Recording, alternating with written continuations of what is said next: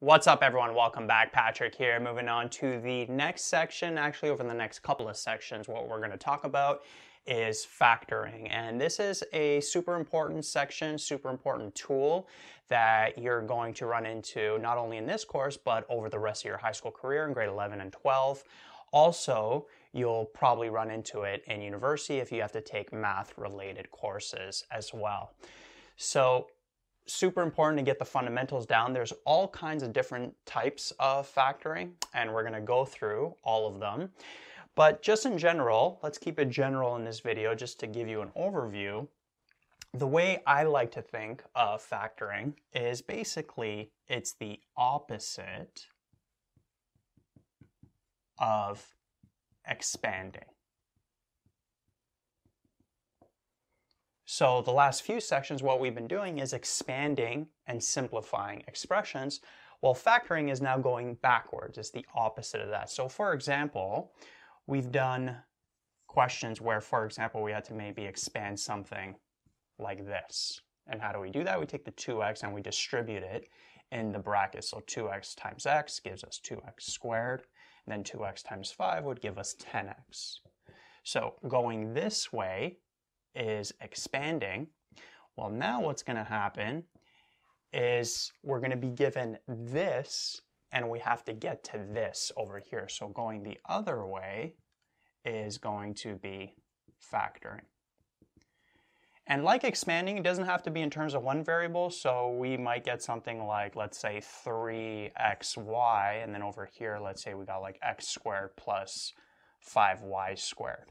Okay, I'm just thinking of random expansions here. So 3xy times x squared, that would give us what? 3x cubed y plus 3 times 5 is 15.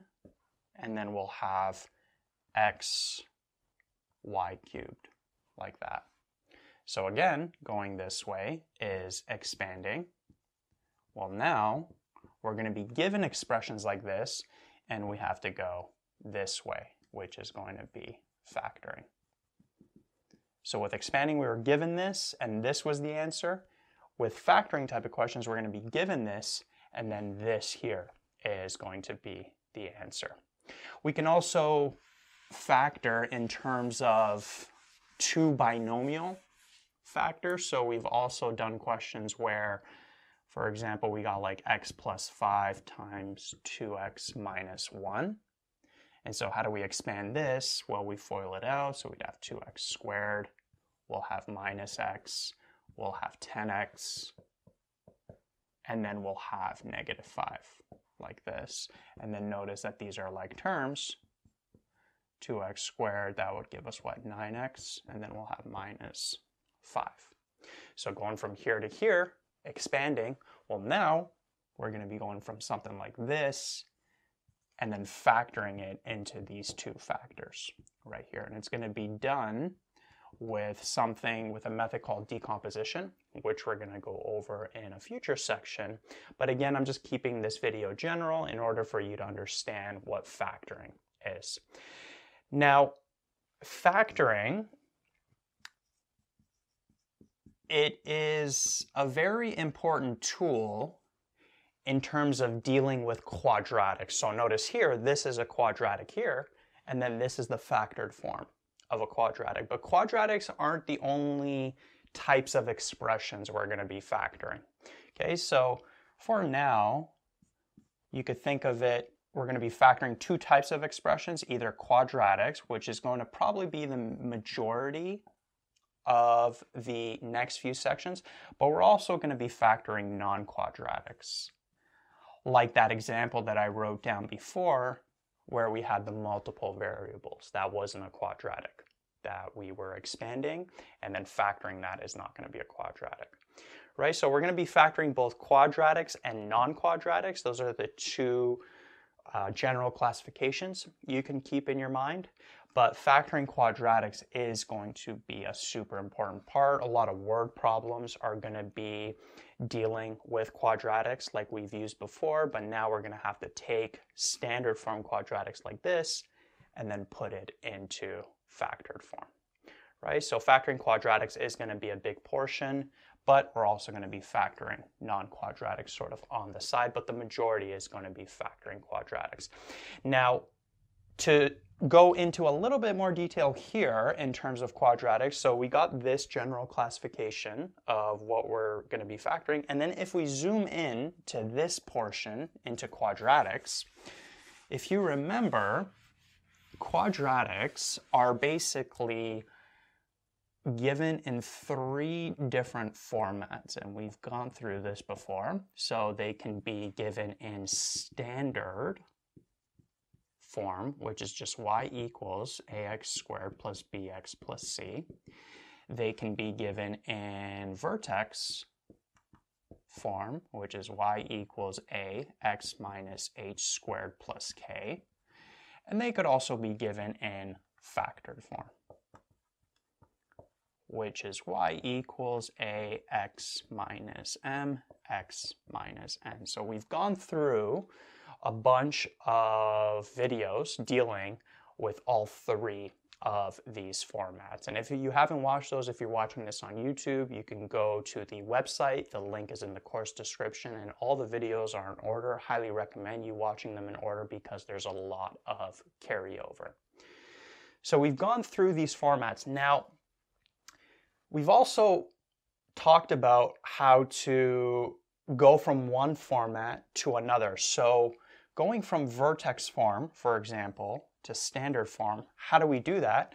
Well, we just expand this quadratic right there. So for example, if we got like, let's say y equals 2x minus 3 squared plus 5, well, what we could do is we would do 2, x minus 3 times x minus 3. When you FOIL those out, simplify it, you'd end up with x squared minus 6x plus 9. Then we got the plus 5. Then we distribute the 2 inside the bracket. We'll have 2x squared minus 12x. And then we'll have 2 times 9, which is 18, plus 5. Those are like terms. That would give us 23. Right, so going from vertex form to this standard form, all we do is we expand. Same thing with factored form. So let's say we want to go from factored form to standard form, we also expand. So for example, if we got like y equals 3, let's say x plus 5, x minus 2, like that. So we'd have, so this is factored form here. If we expand this bracket, simplify everything, we'd end up with x squared, 5x minus 2x would give us 3x, and then we got minus 10.